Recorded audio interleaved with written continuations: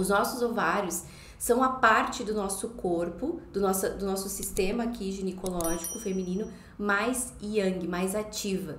Então eles estão muito ligados à criatividade, às coisas que você precisa fazer, às coisas que você aquela energia, aquele impulso de realizar coisas. E a gente sabe muito bem que existe uma ultra exigência para que a gente esteja sempre aqui na correria.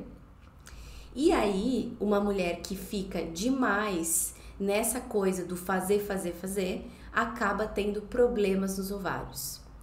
Então, no, o nosso estilo de vida extremamente corrido, extremamente para fora, extremamente na correria, ele vai fazer com que se adoeçam os ovários. Então, os ovários policísticos, se a gente dá um Google, só, só no Brasil, por ano, são descobertos 2 milhões de casos de mulheres com ovários policísticos. Vocês têm noção da quantidade de 2 milhões de mulheres ao ano?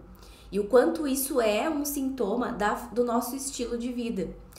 E aí, mapeando, estudando, observando o que leva mulheres a adoecerem em nível emocional e sutil, porque o nosso foco aqui é essa causa mais profunda, esse, essa visão que também vem da, da medicina tradicional chinesa, né?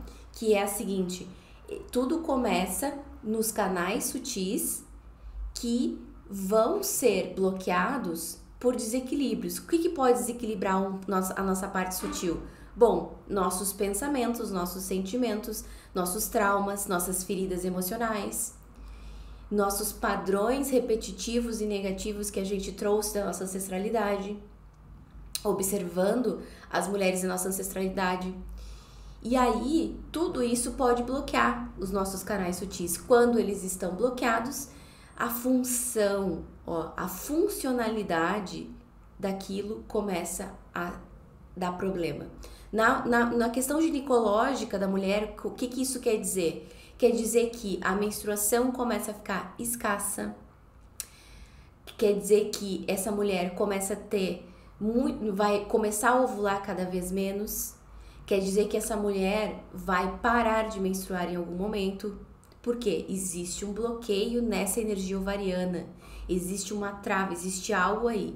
Em algum momento ela vai fazer exame e vai aparecer síndrome dos ovários policísticos, que são aqueles ovários que, que se encapsulam, aqueles óvulos que se encapsulam e que eles não não, não são capazes, não são liberados pelos ovários justamente porque eles estão enrijecidos.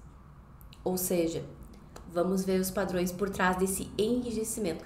O que, que leva um ovário a enrijecer? Inclusive, síndrome dos ovários policísticos, pelo fato da mulher não ovular, o que, que acontece? Ela tem a diminuição da libido também. Uma fadiga constante, um cansaço constante, porque ela está com os hormônios completamente desregulados. Porque o ciclo da mulher regula os hormônios dela. E aí, Existem padrões que levam mulheres a adoecerem os ovários? Existem. E eu trouxe aqui quatro principais.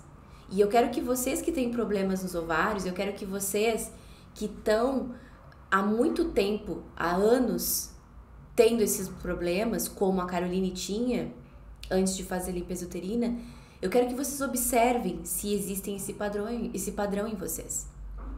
Por quê? Porque todo sintoma é sustentado por um comportamento. Grava essa frase.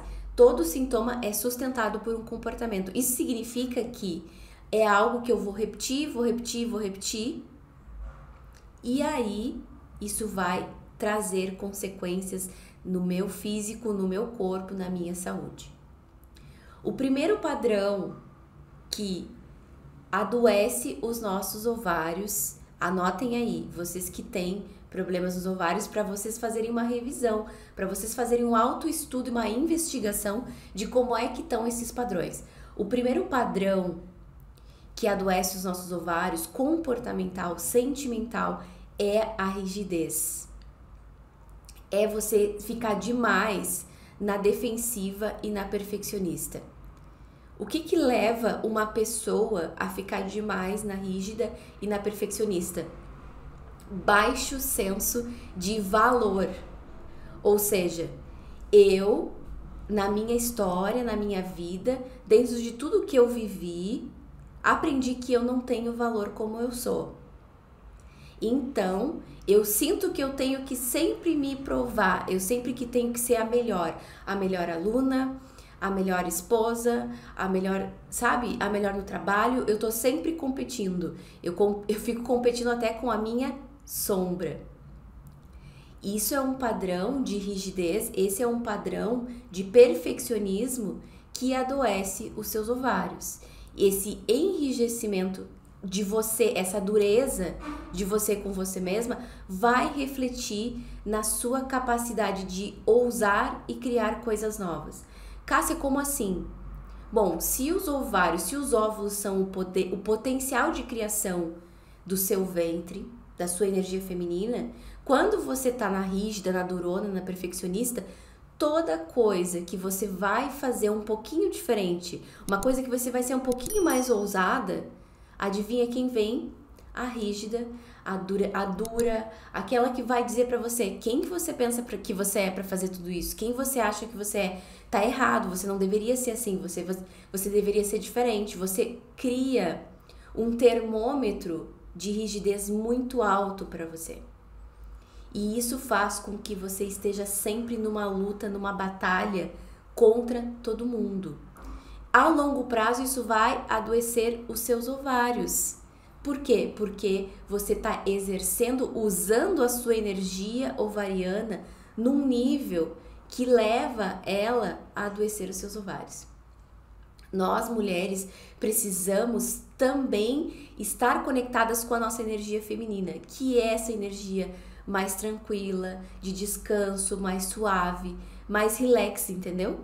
Se a gente tá na durona, na perfeccionista, naquela que tá armada para todo mundo, a gente adoece os nossos ovários. Você conhece aí, perto de você, ou você é, tá? Que acontece também, alguém, alguma mulher que é durona, que é rígida, que é super exigente consigo mesma e que tem problemas nos ovários, comenta aqui que eu quero saber. E se faz sentido para você esse padrão de sentimento e de comportamento que a gente tá falando aqui. Comenta aqui pra mim. Já deixa o seu like nesse vídeo, se inscreve no canal e ativa o sininho para receber notificações dos conteúdos que a gente libera todos os dias.